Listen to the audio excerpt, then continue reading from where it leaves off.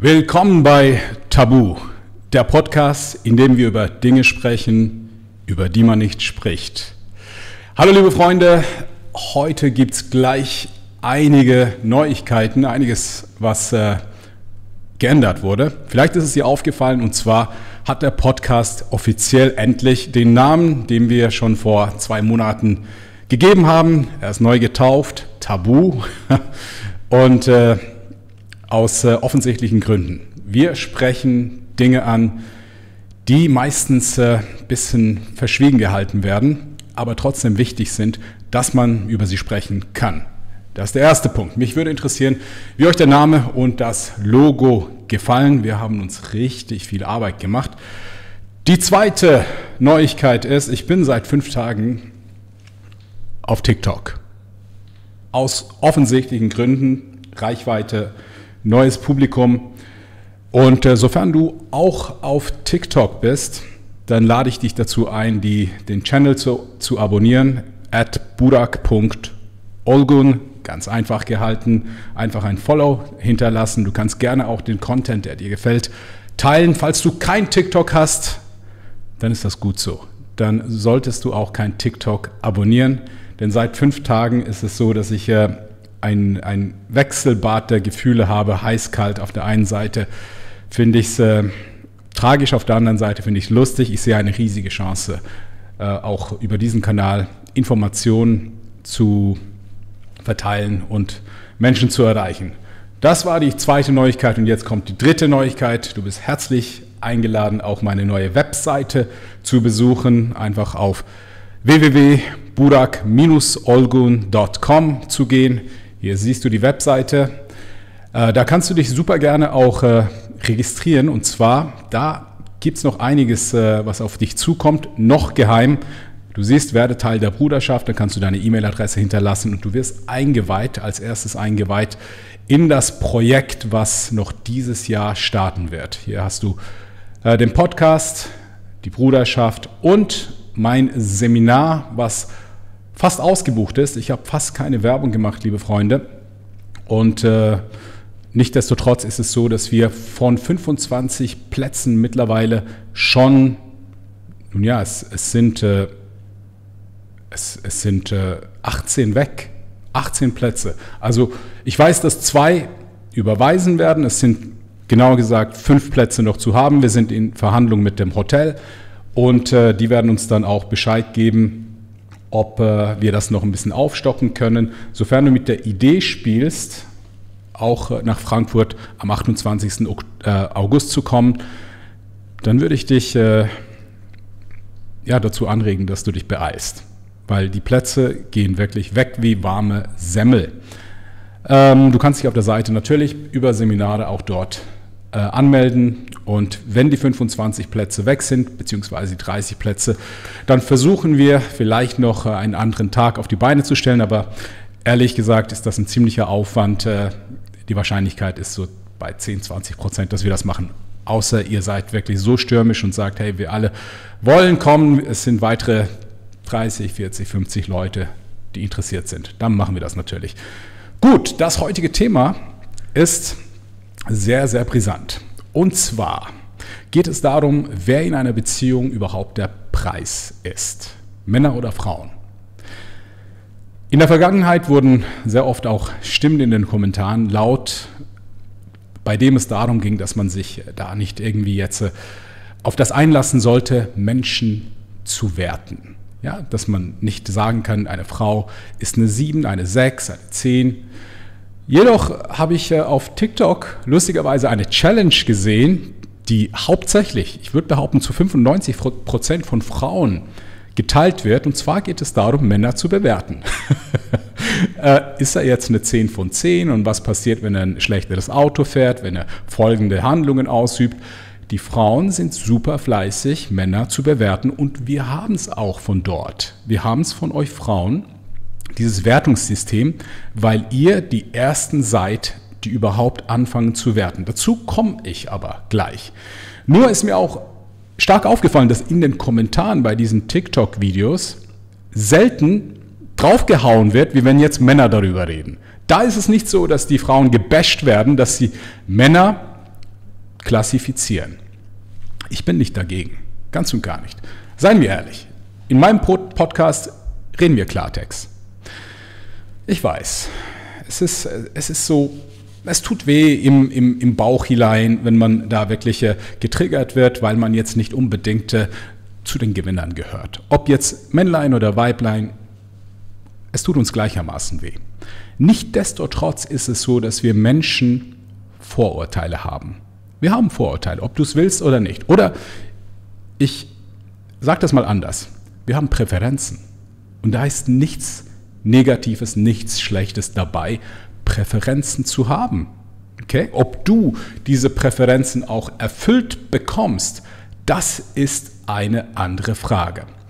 Dann sind wir bei dem Punkt, wer entscheidet überhaupt über meinen Preis? Also wie, wie viel Wert das ich habe. Nein, das bist nicht du. Okay, das bist nicht du. Es ist der Markt. Der Markt entscheidet darüber, wie viel Wert das du hast. Und da ist es wie überall anders auch. Alles, was knapp ist, ist mehr wert. Ja, Gold ist mehr wert, weil es knapp ist. Diamanten sind mehr wert, weil es knapp ist. Bitcoin war mehr wert, weil es knapp ist. Ja? Und deswegen ist es so, dass äh, sich im Markt äh, der Preis entscheidet. Und da spielt es tatsächlich gar keine Rolle, was du fühlst und was deine Empfindung ist, äh, wenn du gewisse Fakten heute zu hören bekommst.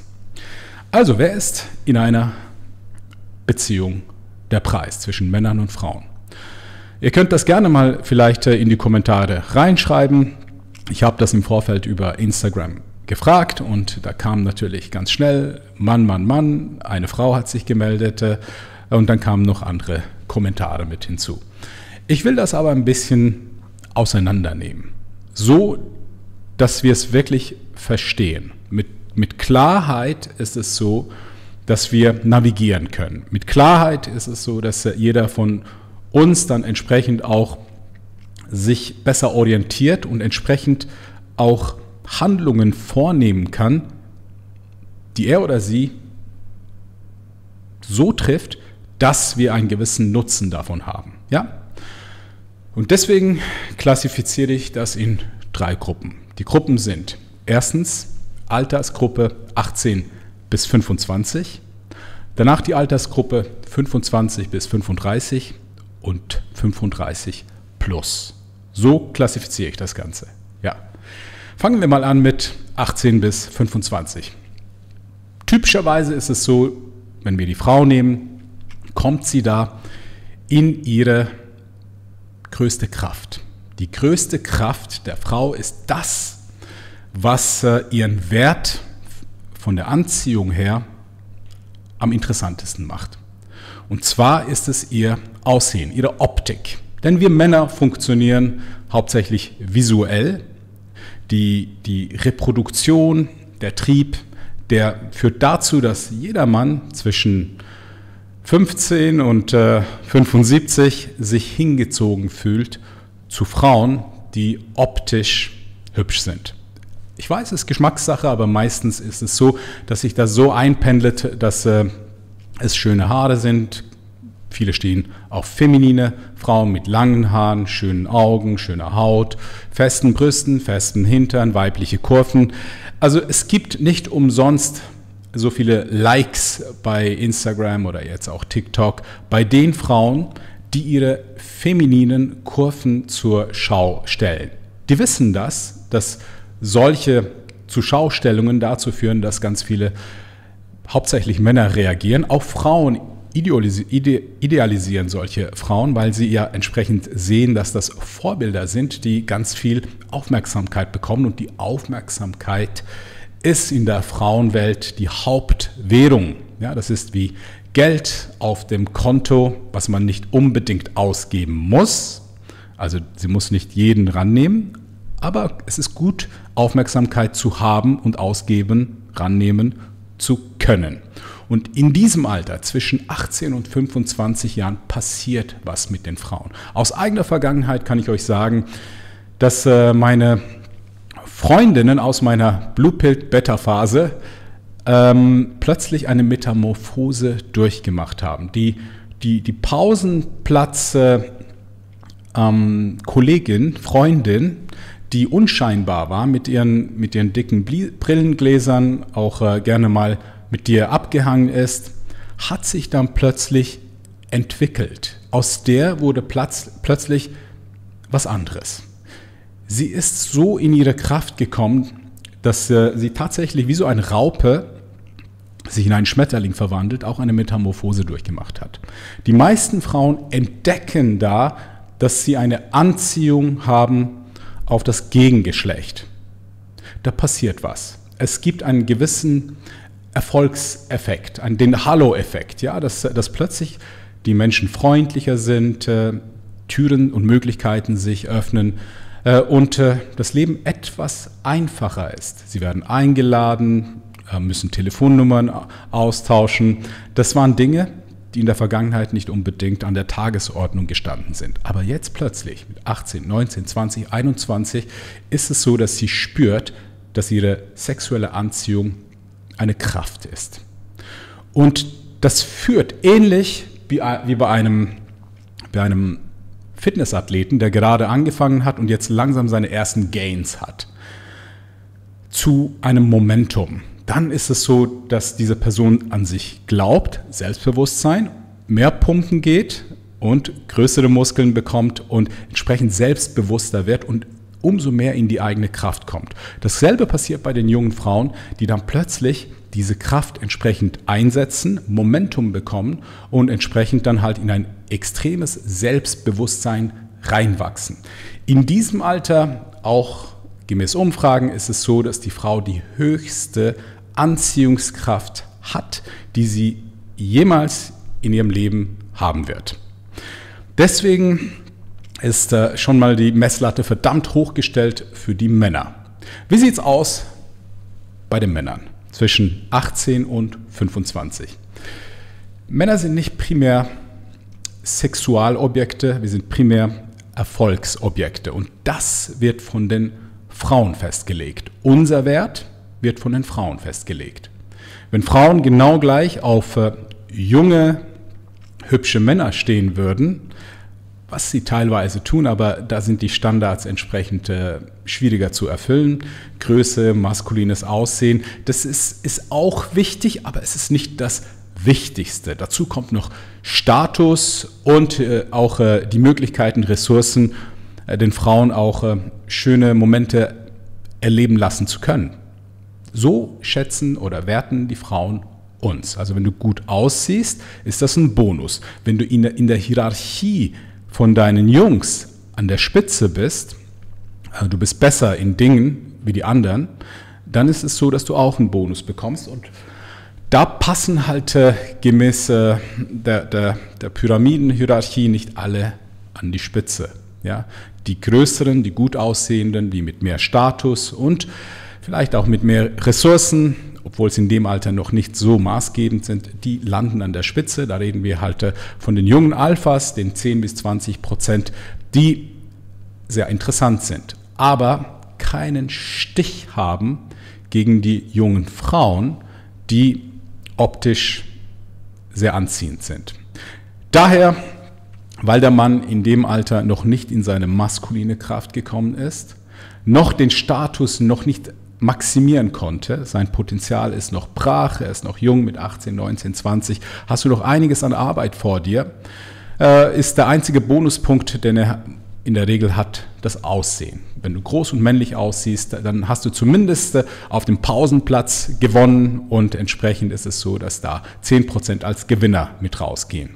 Aber im Gegensatz zu den Frauen ist es so, dass sie ablosen und in dem Alter, in der ersten Gruppe von 18 bis 25, können wir klar davon ausgehen, dass die Frauen der Preis sind. Herzlichen Glückwunsch, liebe jungen Frauen. Deswegen verstehen wir auch, wieso dass ganz viele auf TikTok und Instagram in dem Alter sich so exponieren und äh, auch sich gar nicht äh, irgendwie ja, um, um andere Qualitäten bemühen, weil es läuft. Da ist schon mal Rückenwind, da ist Auftrieb. Und wenn was läuft, dann muss man nichts dran ändern. Gehen wir in die zweite Gruppe. Die zweite Gruppe ist 25 bis 35. Das ist eine ganz, ganz interessante Kategorie, denn in dieser Gruppe ist es so, dass die Frau in der Regel, was das Optische anbelangt, langsam, somit äh, die einen früher, die anderen später, aber ihren, ihren besten optischen Zeitpunkt langsam, aber sicher hinter sich lässt. Du siehst es an einer 35-Jährigen an, dass sie keine 25 mehr ist. Und daher ist es so, dass äh, die meisten Frauen so gegen 30 auch die biologische Uhr ticken hören und entsprechend auch sich bewusst sind, dass die Konkurrenz jeden Tag wächst und entsprechend auch äh, da schnell mal auch die Strategie etwas umgeändert wird.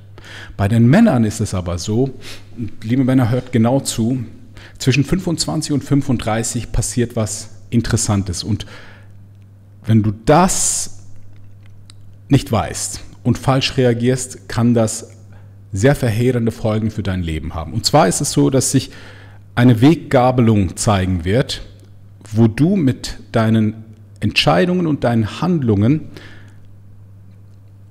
dich entweder Richtung Gewinnerstraße bewegst oder ablust.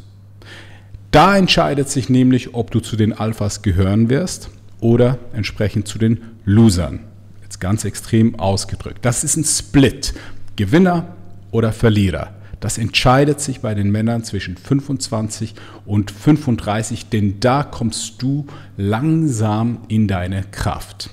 Bedeutet, optisch, wenn du an dir gearbeitet hast, kannst du dein Aussehen maximieren. Ja? Körperlich, mit deinem Style, und äh, an gewissen Dingen kannst du nichts dran drehen, also deine Körpergröße, vielleicht Haarwuchs, kannst du nicht viel dran machen, aber du kannst alles etwas tweaken und optimieren. Dann vom Status mit deiner, mit deiner mit deinen Fähigkeiten, mit deiner Kompetenz ist es so, dass du dich jetzt abheben kannst im Wettbewerb gegenüber anderen und an Status zulegst. Das kannst du machen auf sozialer Ebene, auf sportlicher Ebene, auf beruflicher Ebene, auf finanzieller Ebene. Du kannst dich langsam absetzen, sofern du die richtigen Entscheidungen triffst. Das wiederum macht dich interessant für die Frauen, die jetzt wissen, dass es abwärts geht mit ihrem sexuellen Marktwert und sie setzen hauptsächlich in dein Potenzial. In dein Potenzial. Die wissen zwar, dass du noch nicht äh, der Supergewinner-Typ bist, äh, der du werden könntest, aber du hast verdammt nochmal Potenzial und deswegen ist es so, dass die Frauen unglaublich stark auf Ambition schauen. Bist du ein aktiver, mutiger Mann? Denn Ambition zeigt, dass dieser Mann sein Potenzial nicht verwirken lassen wird. Der arbeitet daran. Das macht dich sehr attraktiv. Also in dem Alter ist es ein Unentschieden. Ein Unentschieden.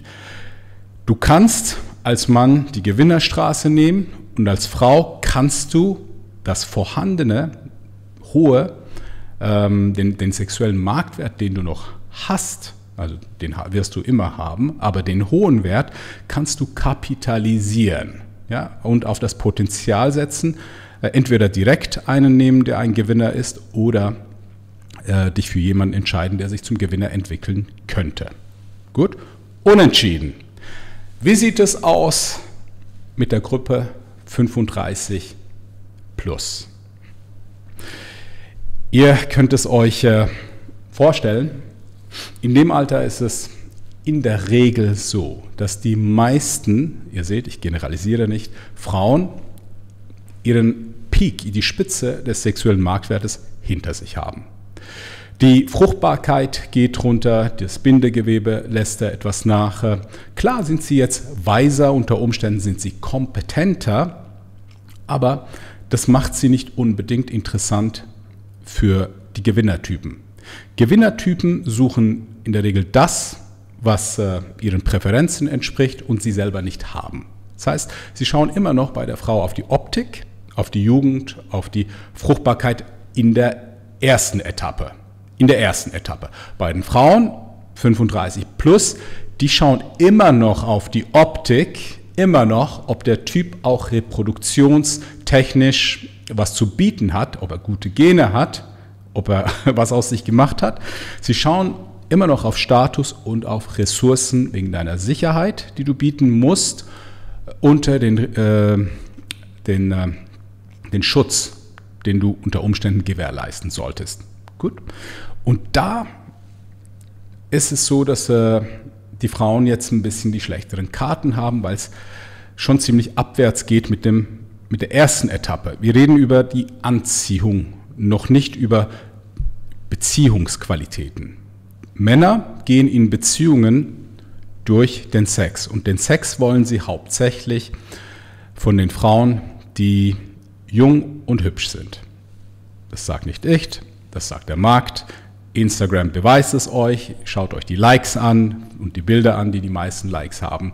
Dann werde ich auch nicht als äh, voreingenommener Frauenhasser abgestempelt. Die zweite Qualität ist natürlich, äh, die zweite Etappe ist äh, Beziehungsfähigkeit. Bei der Beziehungsfähigkeit geht es mehr darum, dass äh, Frauen sich einen maskulinen Mann wünschen. Über die maskulinen Attribute reden wir heute mal nicht. Und die Männer sich eine feminine Frau suchen. Und dann kommen natürlich noch die, die Werte, der Charakter. Beide schauen auf die Werte. Was ist der anderen Person wichtig? Wenn, wenn er sagt, ich möchte eine Frau, die loyal ist und eher so unerfahren ist, damit ich ihr wirklich alles beibringen kann, das Leben zeigen kann und sie Spaß daran hat, wenn sie mit mir die Dinge zum ersten Mal erlebt.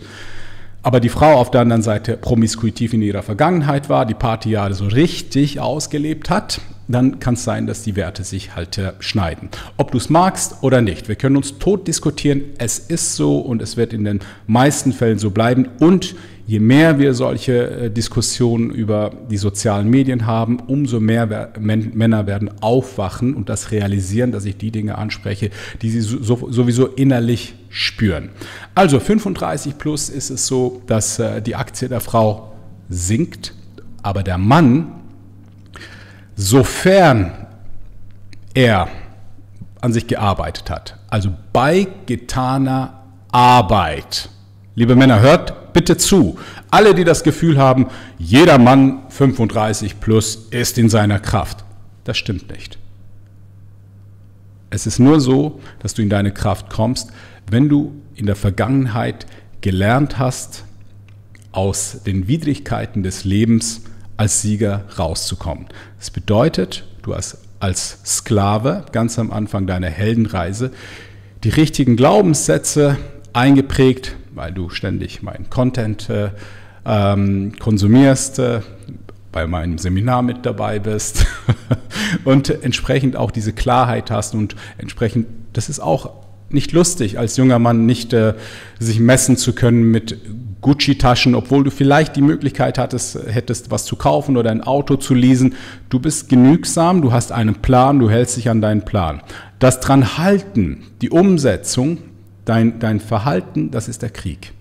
Und der Krieg ist gepflastert mit ganz vielen Niederlagen. Es ist nicht so, dass du jetzt einfach nur äh, Dinge angehst und beim ersten Mal bist du erfolgreich.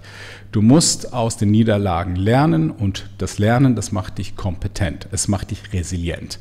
Und wenn du die Arbeit getan hast, körperlich, geistig, sozial, beruflich und finanziell, dann gehörst du zu den Gewinnern. Dann gehörst du zu den Alphas, zu den, nehmen wir mal 10 Prozent. Lass dich bitte nicht von dieser Zahl allzu stark verunsichern. 10 Prozent, da muss ich 90 Prozent aller Männer schlagen. Okay, aller Männer. Gehen wir davon aus, auf der Welt gibt es 8,5 Milliarden Menschen. Okay, und davon sind die Hälfte Männer. Gut, so 4,25 Milliarden Männer. Und du gehörst jetzt zu den 10 Prozent. Da ist Platz für 42,5 Millionen Männer, um in den 10 Prozent mit drin zu sein. Und du, wenn du im Dachraum wohnst, Deutschland, Schweiz, Österreich, dann hast du die beste Voraussetzung, dich so zu verhalten, dass du zu diesen 10% gehörst. Und meine Güte, sofern du zu den 20% gehörst, bist du trotzdem ein Gewinner. Vielleicht hast du aber richtig äh, Dussel und gehörst sogar zu den 5% oder 1% der Männer, denn das sind die wahren Gewinner. Denn in der dritten Gruppe, 35 plus, ist es so, dass die Männer wiederum der Preis sind, sofern sie ihre Arbeit geleistet haben. Und alles in allem, wenn wir alle Altersgruppen mal zusammenwürfeln, ist es so, dass hauptsächlich der kompetente Mann, meist in seiner Kraft, so um die Mitte 30 drüber, der Preis ist. Der Preis ist, weil er wird begehrt von der 18-Jährigen, von der 25-Jährigen, von der 35-Jährigen. Er ist der Preis, denn er hat am meisten zu bieten. Dadurch, dass er ein hartes Leben hatte, was ihn letztendlich durch den Druck wie einen Diamanten geformt hat, ist er das knappste Gut. Von diesen Männern gibt es verdammt wenig. Und ich habe es euch ganz am Anfang gesagt, der Markt entscheidet und je knapper ein Gut, umso wertvoller ist es. Es gibt scharenweise bildhübsche 22, 23-jährige Frauen. Kunststück. Die werden in der Regel in ihre Kraft reingeboren, sofern sie in der Vergangenheit nicht zu stark mit Pommes und Fastfood verwöhnt wurden, kommen sie alleine durch ihre Existenz in ihre Kraft. Aber die Männer, die es schaffen, das Leben so zu leben, dass sie letztendlich zu den Gewinnern, zu den 10 bis 20 Prozent zu gehören, Glückwunsch, ihr seid der Hauptpreis. Ihr könnt gerne später in die Kommentare mit reinschreiben, wenn ihr einverstanden seid oder nicht einverstanden seid. Äh, mir geht es da nicht um eine, um eine esoterische Unterhaltung. Ich will euch jetzt nicht äh, mit euch über, über Werte, Charakter und sonst irgendwie was reden. Es spielt alles mit rein. Liebe Freunde, es spielt alles mit rein. Aber so, wie ich das jetzt äh, gezeigt habe, äh, müsste es eigentlich Sinn machen, dass äh, der Mann eigentlich, der Gewinnermann in seiner Kraft, der Preis ist. Mal gucken, was ihr so zu sagen habt. Äh, bitte stellt die Fragen äh, zu diesem Thema. Ich habe im Vorfeld eine Frage bekommen, auf die will ich gerne eingehen. Und zwar hat mich jemand gefragt, wie ist es, wenn der Mann richtig schlecht im Bett ist? Das äh, macht ihn das uninteressant. Ist es so, dass er nicht mehr der Preis ist, wenn er sexuell nicht viel zu bieten hat? Und da muss ich euch sagen, absolut. Wenn der Mann die Frau nicht befriedigen kann, dann ist die Wahrscheinlichkeit, dass die Frau davonläuft oder frustriert ist, fast bei 100 Prozent. Eins darfst du mit Frauen nicht machen. Du darfst sie nicht langweilen. Langweilen heißt emotional so diese, diese Linie. Es tut sich nicht. Und wo ist es so, dass die Gefühle am meisten getriggert werden? Das ist hauptsächlich auch beim Sex. beim Sex ist es so, dass beide Geschlechter aus sich und in sich gehen können und entsprechend ist es so, dass du dort sehr, sehr große Emotionen erzeugen kannst und sollst.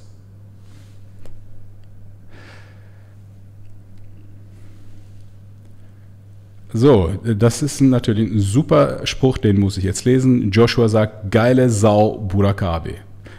Bin ich gemeint mit geile Sau? also, Ah, Alibaba ist kritisch. Du bist ein gestandener Mann, aber möchtest du nicht mal, nein, ist nicht kritisch. Sorry, ich nehme es zurück. Möchtest du nicht mal selber Kinder haben, um deine Werte auch deinen Nachkommen weiterzugeben? Ähm, ich habe nichts gegen, also ich, ich würde gerne Kinder haben. Gerne. Sehr gerne.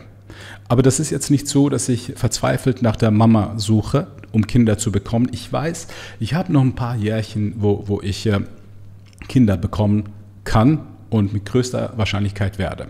Ich werde ein alter Papa, hat viele Nachteile, aber ein paar Vorteile. Ich bin ein bisschen weiser, ein bisschen ruhiger, ein bisschen gestandener, ein bisschen stabiler. Okay, Vor- und Nachteile. Wahrscheinlich mehr Nachteile, äh, wenn es um die körperlichen Aktivitäten, um die Energie geht, aber bei anderen Sachen Vorteile. Das Problem ist, dass äh, zuerst wirklich diese Partnerin äh, da sein muss und äh, auch der Zeitpunkt entsprechend auch gegeben sein muss. Könnte gut möglich sein, dass, äh, dass ihr bald mal irgendwann mal was, äh, was hört, was kreischen hört im Hintergrund. Who knows? Auf der anderen Seite ist es aber nicht so, dass dieses, dieses, äh, diese Information, dass ich meine Werte an meinen Nachwuchs weitergeben soll, finde ich absolut nicht. Denn ich sehe meine Aufgabe darin, dadurch, dass ich diese Plattform habe, zu euch sprechen zu dürfen, dass ich meine Werte an euch weitergeben kann. Ihr seid, ich weiß, erwachsen, ihr seid nicht meine Kinder, aber nichtdestotrotz ist es so, dass ich hier sehr viel mehr bewegen kann, als wenn ich jetzt äh, ein oder zwei Kindern meine Werte weitergebe. Ich kann auf die Art und Weise viel mehr bewegen und das bedeutet mir auch verdammt viel, verdammt viel.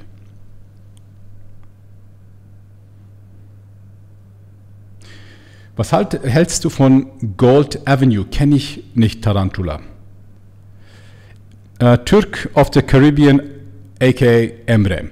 Ist es ein Fehler, sich als Mann in jungen Jahren, 21 bis 25, auf eine feste Beziehung einzulassen, wenn man denkt, man hat die richtige gefunden? Oder liebevolle Konzentration auf sich selbst? Also, Fehler ist immer so, es ist, ups, so kurz weg. Fehler ist etwas äh, zu übertrieben gesagt. Also feste Beziehung ist halt schwierig. In dem Alter musst du verstehen, dass du noch nicht zu dem Mann geworden bist, der, der du in Zukunft sein wirst.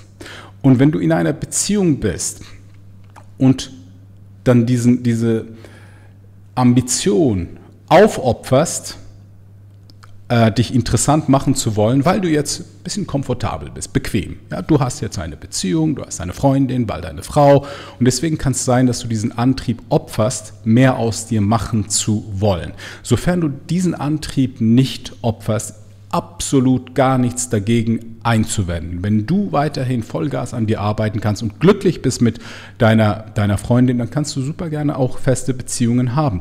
Die Wahrscheinlichkeit, dass es klappt, ist aber klein. Das ist grundsätzlich sehr, sehr schwierig bei, bei Menschen. Ja, zeigt die Zeit, zeigen Statistiken und äh, alle Menschen um dich herum. Ja, die Beziehungen sind nicht mehr so monogam, wertegetrieben, wo die Leute zusammenbleiben mussten, obwohl sie nicht wollten. Es ist so, hm, dann funktioniert es, dann geht es auseinander. Es ist eine Serienmonogamie. Und das bedeutet, damit es klappen tut, müsst ihr wirklich an der Beziehung arbeiten und ihr müsst im Grunde genommen auch äh, euch in dieselbe Richtung entwickeln. Und das sind zwei Menschen. Also du musst an dir arbeiten und sie muss mitmachen. Und wenn, wenn das gemacht wird, dann bin ich davon überzeugt, dass sich auch ein Paar ein Leben lang binden kann, auch glücklich diese Beziehung führen kann, sofern du daran arbeitest. Das spielt doch eigentlich keine Rolle, ob du jetzt mit 25 oder 35 mit einer zusammenkommst. Aber du bist noch nicht der Typ, der du mit 35 sein wirst. Und du weißt nicht, ob dieser Typ entsprechend äh, dann auch mit der Frau zusammenbleiben möchte. Ähm, wenn du dann angekommen bist. Ganz, ganz viele Männer, die haben oft mit 35 nicht mehr so diesen Elan, diese Energie. Sie haben keine Träume. Das ist halt, weil sie vieles aufgegeben haben vielleicht auch Familie, Verpflichtung und es ist schwierig, das Leben zu erobern, sofern du nicht zuerst die richtigen Maßnahmen getroffen hast, um zu den Gewinnern zu gehören. Wenn du mal beruflich und finanziell stabil bist, Sicherheit hast, ein richtig gutes Polster auf der Seite hast, dann geht es einfacher. Aber stell dir vor, irgendwie, sie ist jetzt schwanger, ihr seid Mitte 20 und jetzt ändern sich plötzlich die Prioritäten in deinem Leben. Du bist, mein Freund, du bist wirklich, ich, gefickt. Das ist richtig schlecht. Das ist richtig schlecht. Ich sage nicht, Kinder sind schlecht. Ich sage einfach, wenn du noch nicht diese Stabilität hast und dann Verantwortung übernimmst zu einem Zeitpunkt, wo du diese Verantwortung eigentlich gar nicht tragen kannst, dann tust du dir nicht gut, ihr nicht gut, dem Kind nicht gut. Das kann sehr, sehr negative Konsequenzen haben.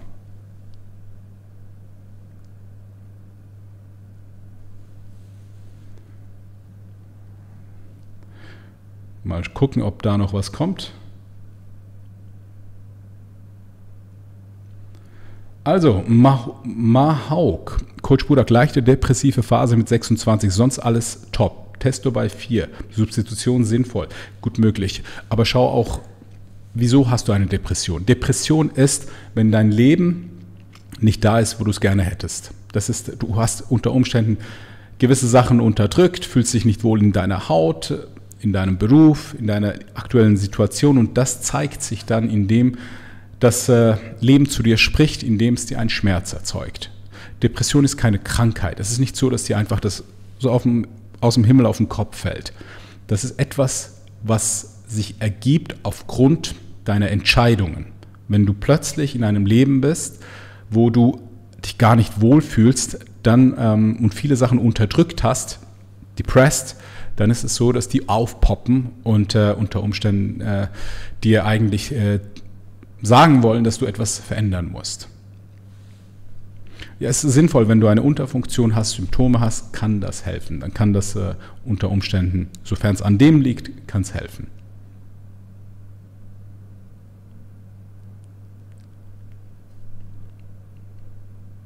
Nice. Liebe Freunde, verpasst es nicht, auf äh, meine Webseite zu gehen. Na, hier mit, mit Schall und Rauch, ihr seht, und äh, euch einzutragen in meiner E-Mail-Liste. Wie gesagt, ich darf noch nicht viel kommunizieren. Äh, da kommt einiges auf euch zu. Ihr seht, heute gibt es einige Veränderungen und das hört nicht auf. Wir sind Vollgas dran an unserer Mission, an, der Arbeit. Wir haben nicht nicht wirklich nicht knapp zu tun in den nächsten zwei Monaten. Sofern du mich live erleben möchtest und äh, zu den Ersten gehörst, die eigentlich eingeweiht werden in diese Mission und diese Bruderschaft, dann lade ich dich am 28. August ein, mit bei Frankfurt bei meinem Seminar dabei zu sein. Es wird ein ziemlich cooler Event. Wir haben einiges geplant, äh, zusammen Lunch, zusammen Zigarre, Steak, äh, alles maskulin. Dresscode kommt, ja, also da gehen wir hin und wir gehen dahin und wir fallen auf. Hm? Äh, wir wollen wirklich da ein Lebensgefühl entfachen in den Männern und ein Network äh, auf die Beine stellen.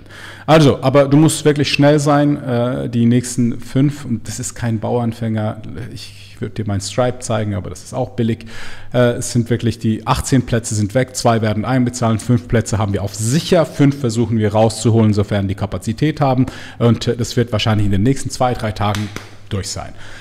Über die Webseite kannst du dich äh, da informieren über das Seminar. Du kannst auch direkt dort äh, buchen, Kontakt aufnehmen. Ich würde mich freuen, dich äh, persönlich kennenzulernen. Lieber Ernst, äh, erster Investor, danke für den Super Chat.